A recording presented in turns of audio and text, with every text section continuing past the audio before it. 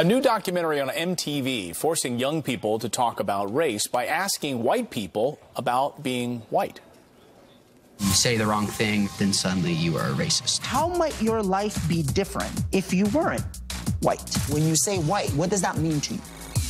We've never had to internalize what white people have done in America, but here, you can't escape that.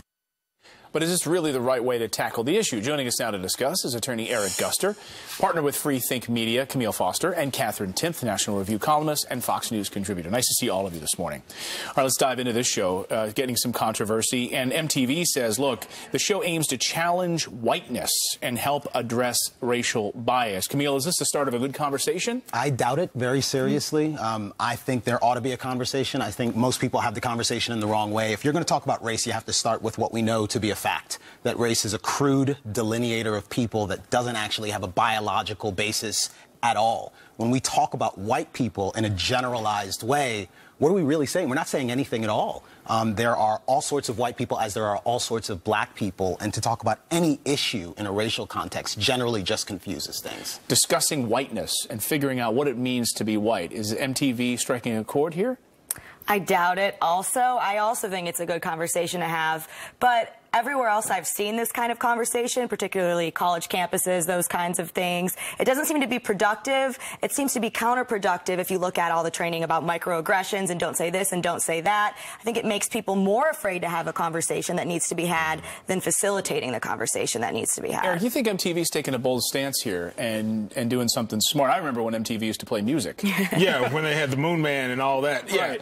I, I think they are, but we have to stop being so defensive about and super PC about things. And people get very defensive when you talk about race. If I talk about my experiences growing up in Alabama, some people may get very defensive if I say these are my typical experiences that I've had.